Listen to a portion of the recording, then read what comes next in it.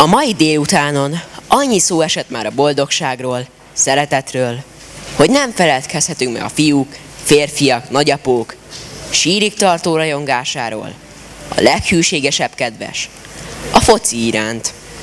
Következzék Lázár Ervin, a foci, a fiáért mindenre képes apa, Miskei Roland, a foci szerelmese, Kormányos Bence. Utána, ha focizásra nem is elegendő, de 15 perc szünet következik.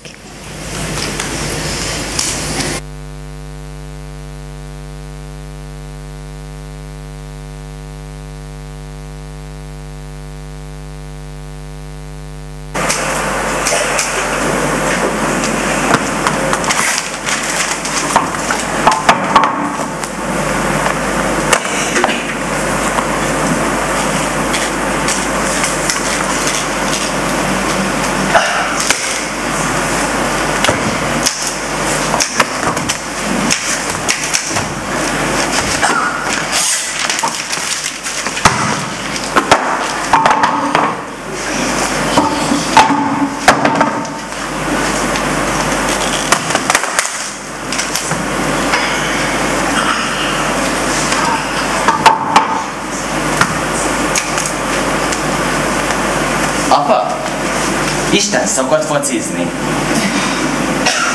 Jó, nem kérdeztem semmit. Na tessék, most megvártam. Persze. Már megint ez a hülye foci. Tele van a feje focista nevekkel, gólpasszokkal, esetekkel, bombákkal, hosszú indításokkal. Gólokról nem is beszélve. Betéve tudja a világbajnokság összes gólját. Mából elég. Hol is tartottam?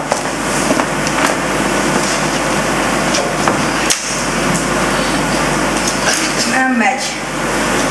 Kicseleznek a betűk. A téren vagyok. Fociznak a srácok a téren, egy rosszul eltalált labda nagy repülne az autók közé, de akkor jön egy elegánsan öltözött úr, diplomatáskával, hopp, egy fantasztikus légstoppal leveszi a lasztit, egy kicsit dekázik, az égbe rugott labda pontosan a vállára esik, vállal veszi le, fölvállazza a fejére, pörgeti a homlokán, le a térdére, pattogtatja, dekázik. Nincs mese, ez egy labdaművész. Megindul a labdával a srácok felé, a háta mögé emeli a lasztit, majd egy fantasztikus Oxforddal maga elé teszi. Vegyétek el! A srácok rárohannak, de a diplomatáskás hat könnyű cseleivel szemben tehetetlenek. Már ott áll a kapu torkában, elfekteti a kapus, lő, gól! A fiúk szájkátva állnak. Ilyet még nem láttak. A diplomatáskás meg már nincs sehol. Mi volt rajta olyan furcsa? Kérdezi az egyik fiú. Nem láttad? Fény lett az arca. Na tessék, nem vagyok normális.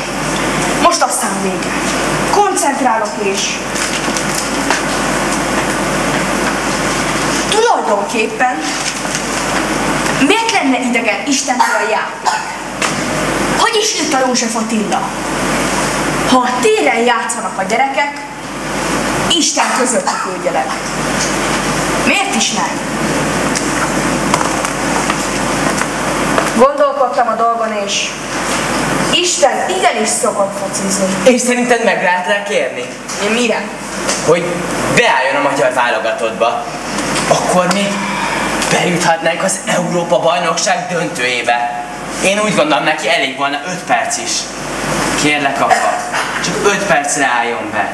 Nem rossz. Tessenek elképzelni a meccset. 5 perc van hátra, az ellenfél 3 0 vezet. Ekkor a hangos beszélő bemondja, hogy a magyar csapat cserél. Így és helyére beáll, hogy kicsoda azt nem lehet megtudni, mert a nagy zsibongásban nem érteni a nevét. Meg hát 3-0-nál. Ugyan kérem. Azért az új játékosban van valami figyelemre méltó. Látják? Hallják, ahogy elhalkul a lárma? Micsoda halotti csend. Aztán micsoda ováció! 40 méterről, mint a zsinóról húzták volna! Ekkora gól! De hisz ez csak a kezdet. Sziszeg a közönség, kélyesen felsóhajt, ordít, tombol, te úristen mekkora játékos! Na na, négy-háromra győztünk! Szerinted beáll? Reménykedjünk. Na de gyerünk vissza a munkához.